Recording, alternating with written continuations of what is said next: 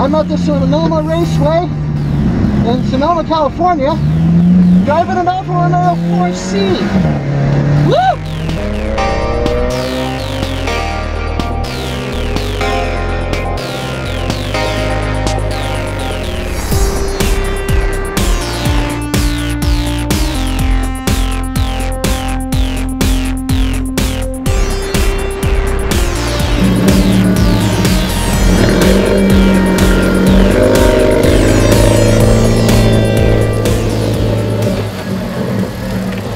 Right?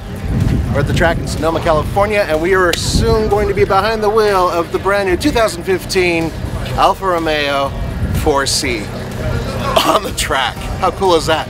See you next on the Fastlane car.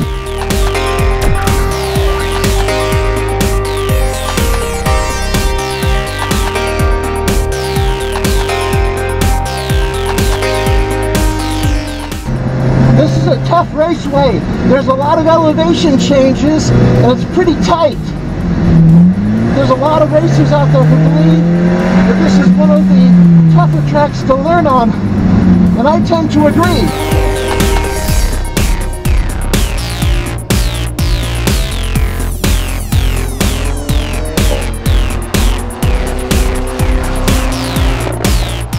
Oh God, this thing can stick! Only information I can give you about this car is just the seat of the pants information, you know what I mean? It's really, how do I put this in the best possible way? It's lively,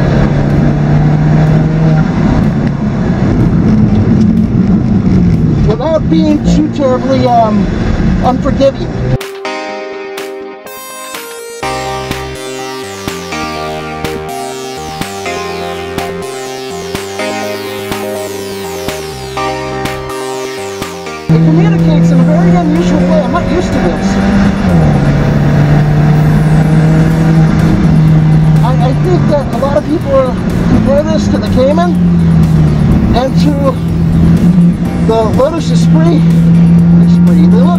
Mean.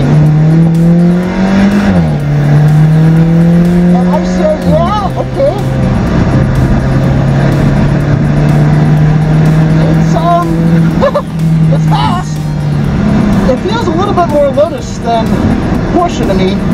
I was lucky enough to drive the Cayman R, and the Cayman R is definitely a little bit more precise, but only because it rewards you with a little bit more track information. I'm not saying that this thing isn't precise. I'm saying that it's it's different.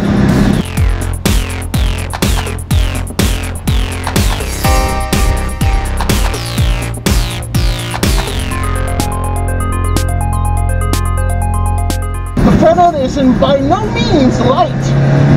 It sticks. I mean, holy cow, it sticks. It's like the Hulk grabbing it, going ah. It's a, it's beastly. It's angry, but not in an unsophisticated way. Oh my god! The thrust is great. You don't want any more than this. Not at least on the track. Oh, I just love Woo!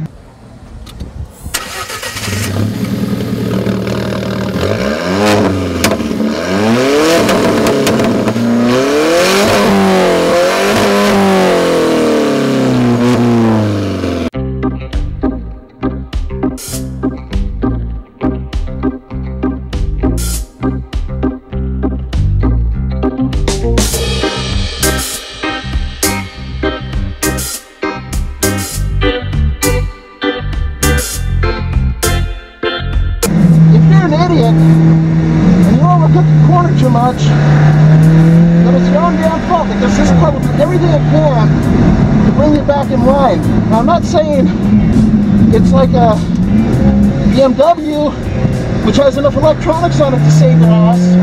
I'm saying that mechanically it's so well balanced that even an idiot like me can go around and track pretty damn fast.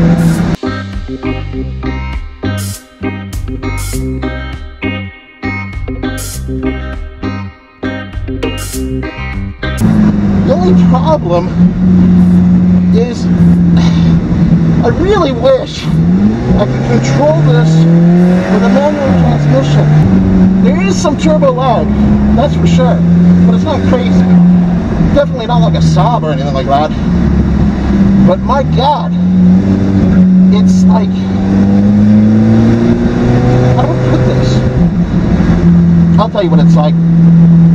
When you were a kid and you would watch Speed Racer or other movies like that or shows like that that had um, really cool cars that you would never obtain in your entire lifetime. This drives the way they look. Yep. It's not a Porsche.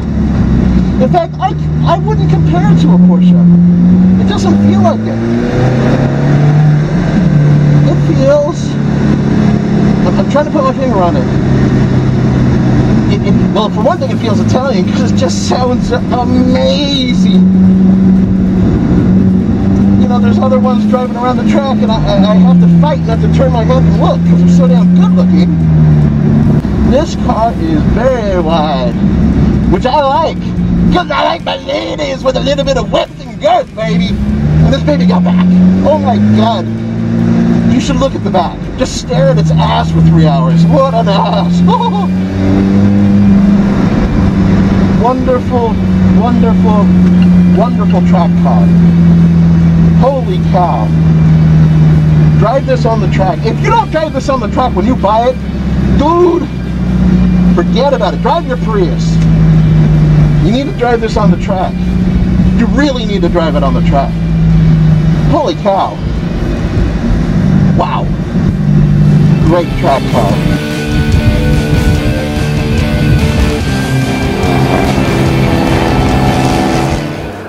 Hope you like this fun and rather entertaining example of what true driving is in an Alfa Romeo 4C. There's a lot more coming up about this car, so stay tuned for that.